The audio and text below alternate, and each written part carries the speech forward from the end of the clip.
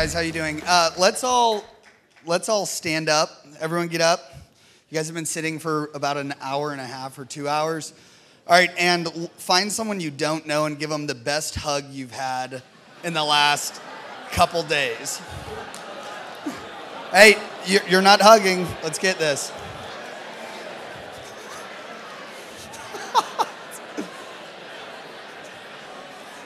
All right, all right, that's enough hugging. You, you, guys can find each other on Coffee Meets Bagel if it was. Uh...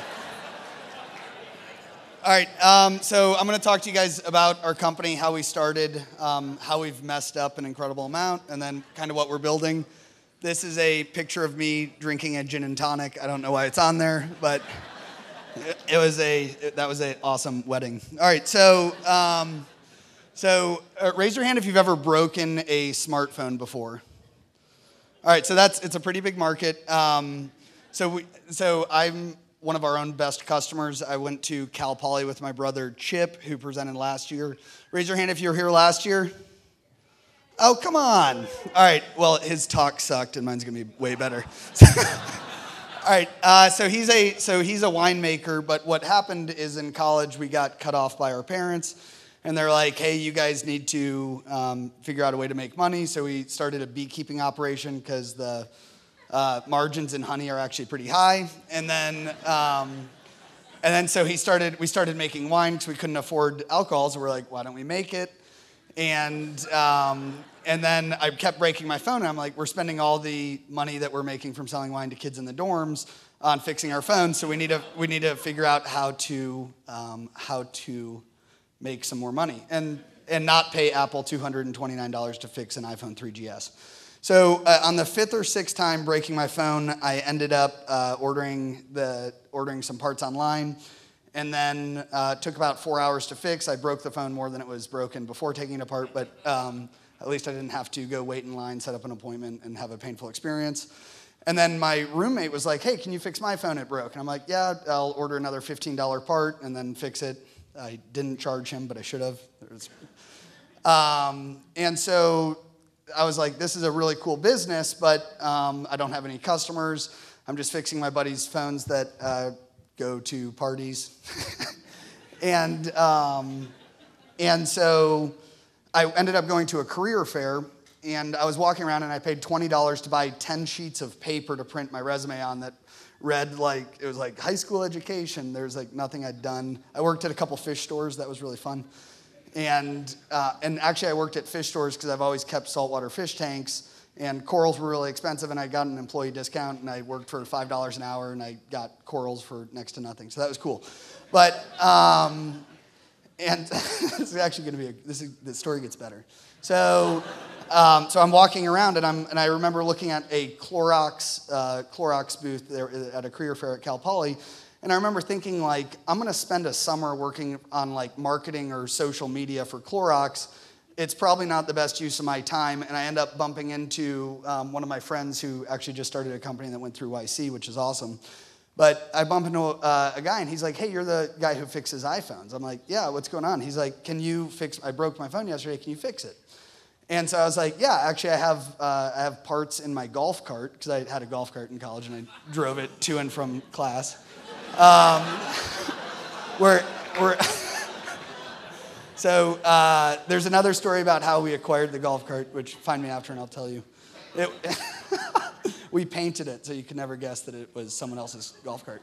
Um, so I end up, I was like, yeah, I, I can fix your phone. And I ended up throwing out all my resumes uh, before I'd handed out any one of them went and fixed his phone and then I was like hey this could be a cool business so I'm going to need to figure out how to um, how to make more customers. So I, I actually skipped class and I went to the library and got on uh, Microsoft Paint for those that remember it and made the most terrible looking flyer you've ever seen that's like broken iPhone uh, and I made it in neon colors.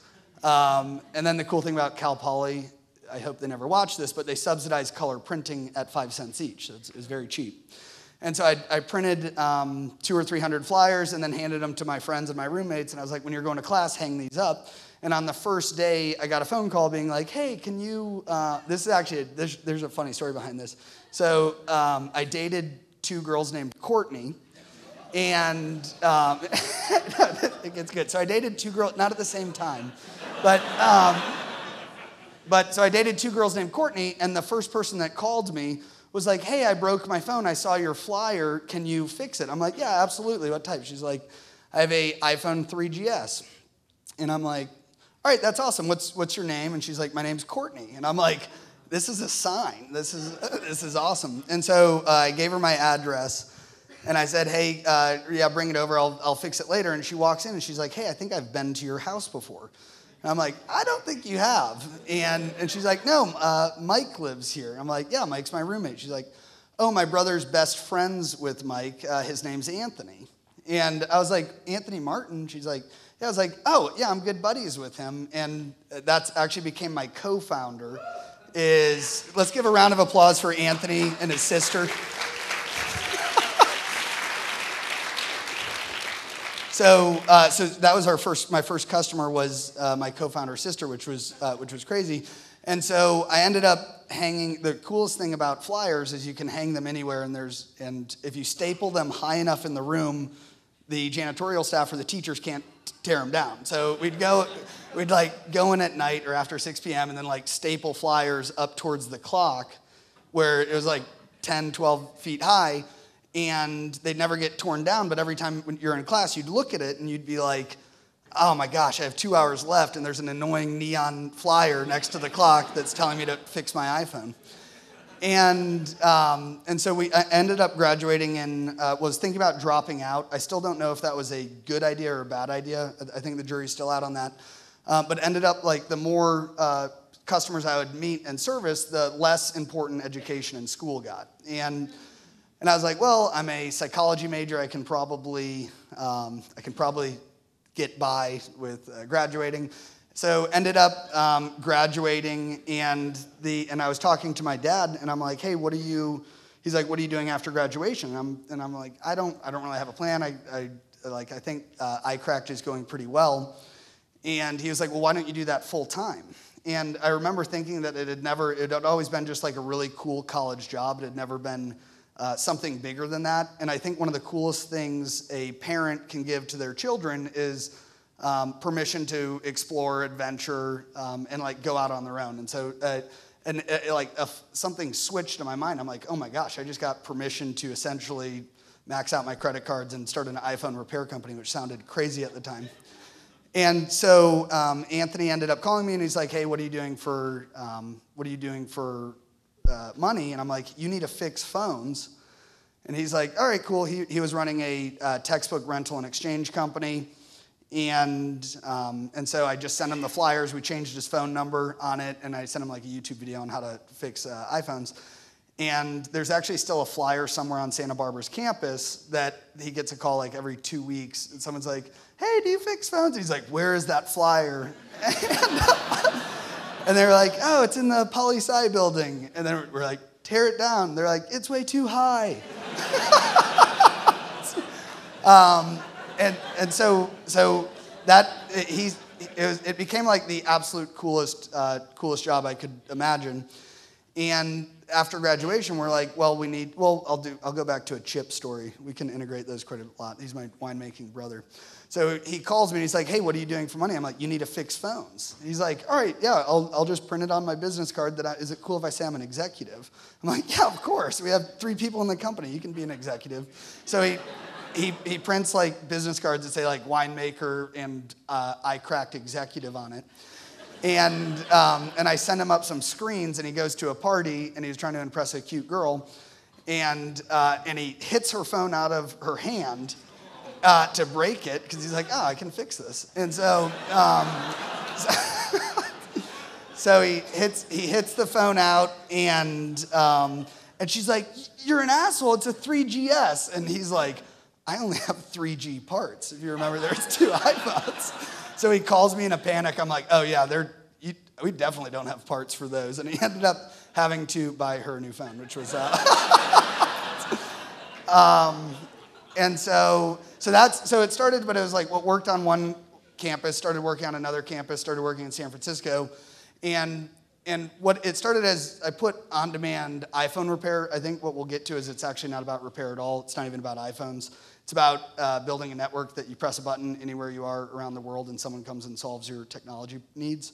But uh, it started as on demand phone repair. And uh, the cool thing is, is, we believe that your iPhone is actually the remote control to your life. And if you can insert a brand and a service in between you and that phone, you, can get into other verticals quite easily because you've already gained consumer trust and, um, and you've already solved their deepest need, which is connection, connection to the world. And so what, what we decided is like, how do we create the AAA for your devices? And, and the cool thing is, is we think that repair is a Trojan horse into um, our consumers' lives, and it's, uh, it's going crazy. I think I have like 20 slides, and I'm on slide two, so this is going to be good. Uh, here's a picture that uh, I don't know why it's on there. We can go to the next one. cool. So, how it started, I was my own customer. I still am. I fixed my iPhone 6 for the fourth time this year, um, yesterday, actually and I don't like it because the six parts are actually expensive, so it costs us a lot of money to fix it, but whatever. So, uh, where we are now. Uh, so, we're at about 115 employees. We have six offices, which is insane because uh, at graduation day, we packed my uh, co founder's truck and we're like, hey, let's go up to San Francisco. There's no way we can build a massive company in San Luis Obispo. And ended up driving up and crashing on my brother's couch, another Chip story. Um, so he, winemakers are the best. So he, I'm, I'm working with Anthony and we're at our computers and it's like 9:40 a.m. on a Tuesday. And Chip like comes out and we've been living on his couch for two months and he's like stretching, probably hungover, and he's like, ah, oh, how much do you guys work? we're, we're like, Chip, it's 9:40 in the morning. You need to get up. And but so what we were like, hey, it's our, our, time to leave. So we end up uh, Craigslisting a place in Sunnyvale and moving into a basement in Sunnyvale. And then ended up hiring a graphic designer. Uh, her name's Leslie. She, she saw my MS Paint flyers and she's like, these are terrible. Can I make you uh, better ones? Because I have to look at them all day in class. And I'm like, this is annoying. I'm like, oh my gosh, absolutely. And then uh, I, we, I paid people in $2 bills. That's a life hack. Paid people in $2 bills. People love $2 bills. Um, And so the whole idea is like, how do you, how do you, uh, how do you scale? Well, it's working in these three cities. How do we do that? Uh, how do we do that around the U.S.? And and we came up with this model that we call the iTech model, where we have, um, well, just some numbers. So in the last 30 days, we've had about 10,000 people apply to be an iTech. We say no to 97 to 98% of them, uh, either based on like where they are, skill, do they fit our model, are they uh, going to treat our customers better than any, um, any person than the other 98%?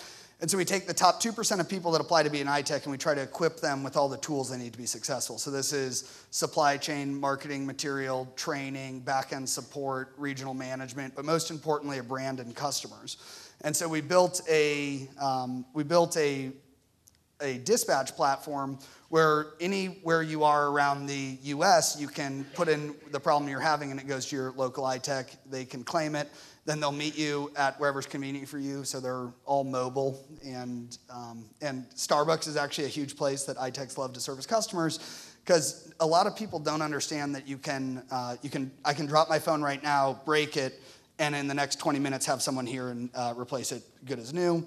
And so uh, we've, we have, we just passed 2,300 iTechs in the company, and, um, and they are just the most incredible service professionals you've ever met. Um, your, our average iTech is between 30 to 40 years old. Uh, he or she has a family. They're not what we thought college students would be the way to expand. It, it's not college students. And uh, we're planning on adding about 5,000 more people to the company this year, which is insane because five years ago we were living in a basement trying to fix phones. So it started by word of mouth. Um, became a cool college job. Don't know why that picture's there. Um, so becoming bigger, like how do you scale something bigger than just something that's out of a dorm room? And that's that's been the um, that's been the question we're trying to answer because it one of my biggest fears is we won't build a big enough company that makes an impact on how massive this market is. So in 2009, about 5% of the world's population had smartphones. At the end of this year, it should be about 42%. Um, Apple sold 74 million iPhones last quarter. It's about 34,000 iPhones every hour, 24 hours a day. We, we know that this market is absolutely huge. Well, what else can you do besides repair? And that is you can, you can buy back old devices, you can deliver new devices. And then the Golden Goose is actually a membership plan where for $7 a month, anytime you break your device, whether it's an Android, iPad, whatever, uh, you press a button and we fix it for $25 uh, on the spot, which is insane.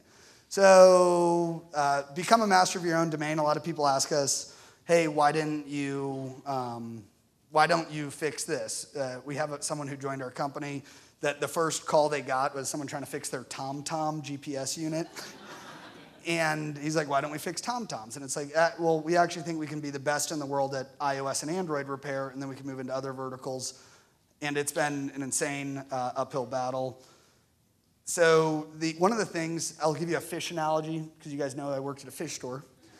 Um, so when expanding, cast a really big net and throw back what you don't want. Uh, we believe this for all the tests we do internally, it's hey, let's see what works and then let's get rid of stuff that doesn't work and let's keep what does, but let's keep everything on the table as a possibility until it's not a possibility. And that's been, um, that's been crazy. I put slow growth on here because um, growing fast is actually not always the best thing. So we, we, were, we, we try to grow at about 10 to 15% month over month um, which by certain standards is either really fast or really slow, but it, it, took us three years to get to a point where we're actually comfortable growing at 15% a month. So don't, uh, great businesses take time. Don't expect to come out with an app or a website or a uh, platform and have like crazy adoption, unless you're Meerkat or Periscope, which was sweet in South by Southwest. You guys all need to go next year.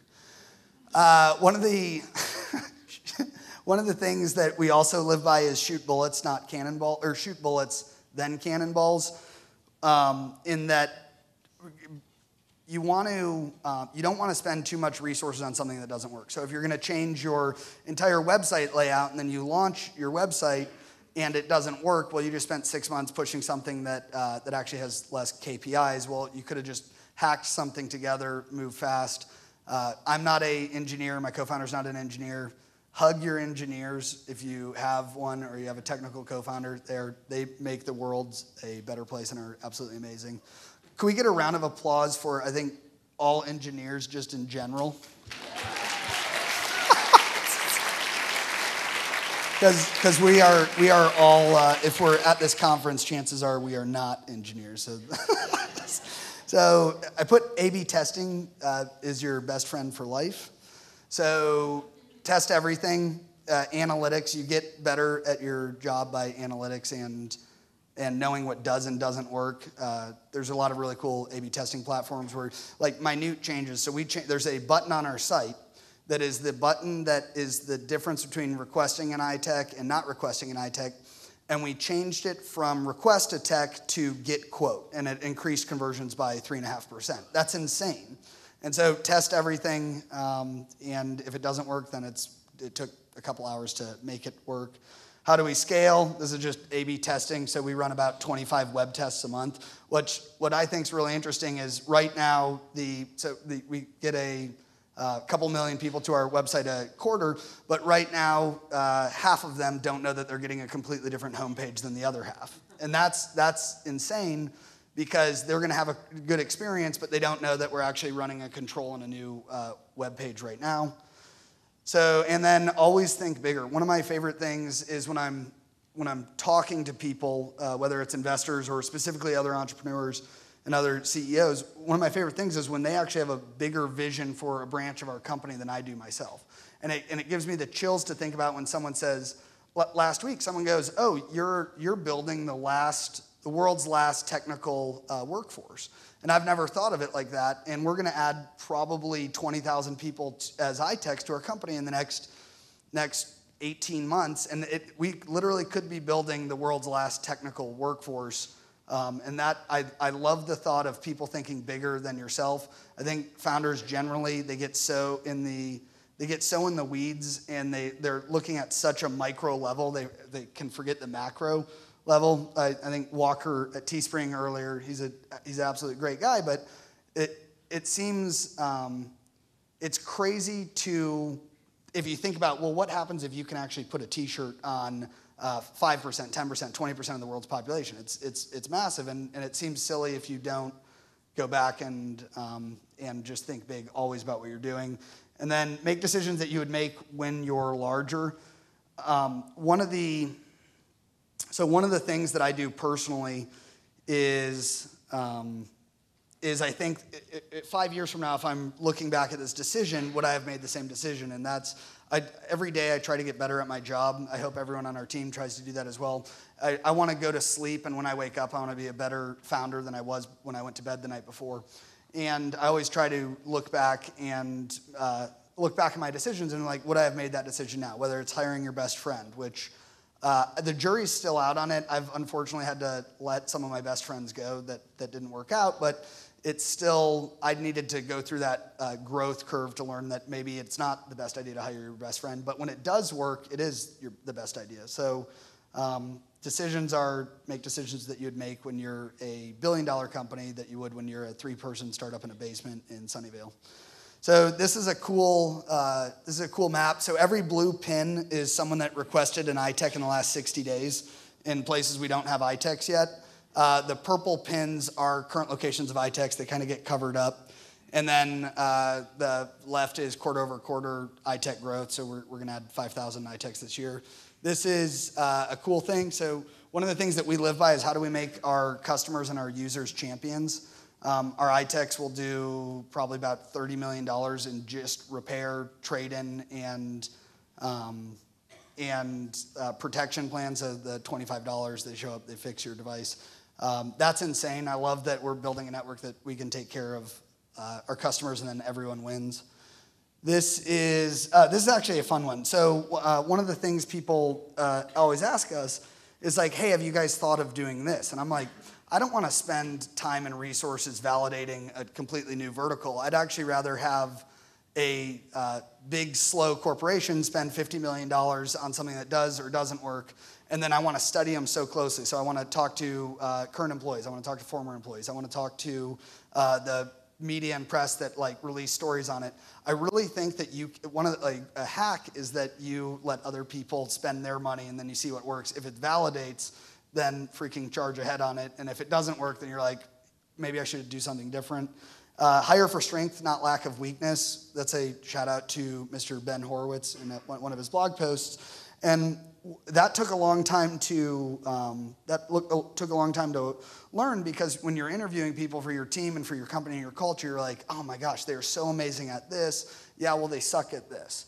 And it's like, well, what is their role? And if, if they're amazing at what they're actually doing, well, you can actually make trade offs for that person. And so don't think that you want like an all around uh, excellent person. I'd hire for people in specific domains and verticals and then make them champions in that. Uh, out innovate the things that kill you. So a lot of, a lot of times it's like, what are you going to do when uh, sapphire glass comes out? And we're like, we, we will probably fix sapphire glass because it breaks. But um, yes, it does. um, you guys see that call out right there? Um, so uh, just out innovate things that is gonna that is gonna put you out of business. What keeps me up at night is like what can what can kill us as a company tomorrow, and then how can we actually beat it? And whether it's having a um, a contingency plan to pivot or a actually we're gonna blow out this vertical if this vertical gets shut off. And then you also don't necessarily need to know what you want to be when you start out. You'll kind of evolve evolve into that. This is the future.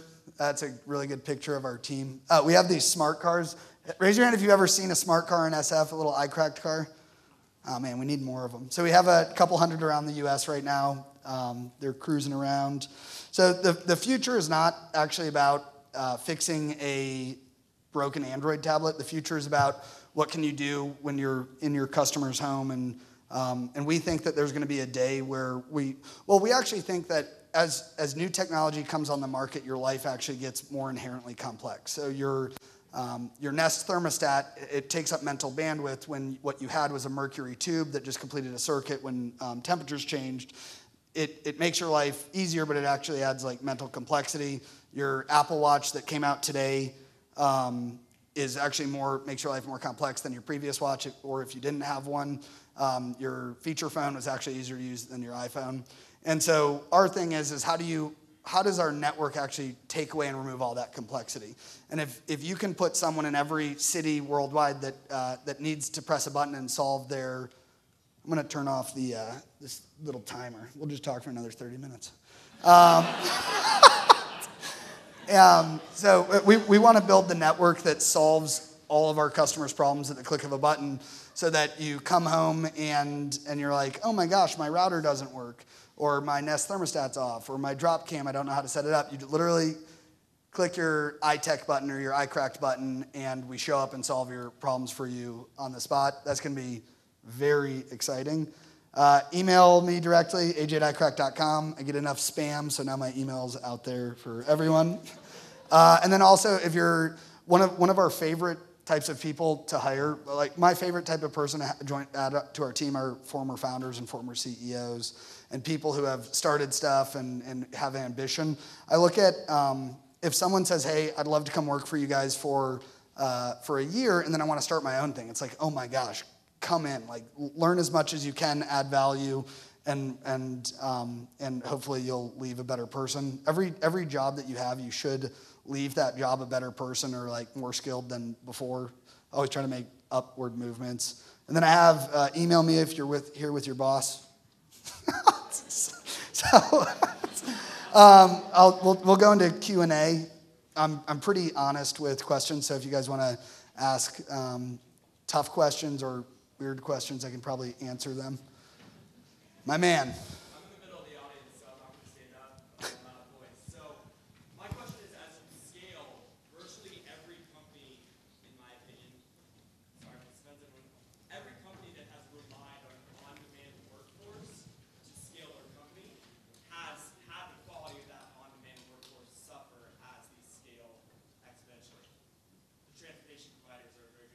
For sure. Um, do you use independent contractors for your, your techs, and what, how do you, like, how do you plan to maintain the quality you have now as you add far more this year than what you have Yeah, now? absolutely. So the, the question is, how do you maintain quality as you grow, add, uh, add individuals to your company? Um, that's a great question. I think as we've gotten, as, as we're actually growing, we're getting more applicants, so the percentage that we're accepting is decreasing.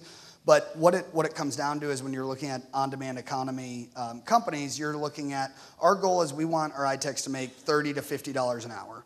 And, the, and we look at there's actually three tiers of on demand economy. So there's your, your Uber, your Instacart, your, um, your Shyp, your Postmates, they're at, a, they're at like kind of your entry level 1099 economy. And then you have your, what we call the semi pro economy, which we think we fall into, where not anyone, you can't click a button on Handy and have someone come fix your uh, device or install your Nest thermostat.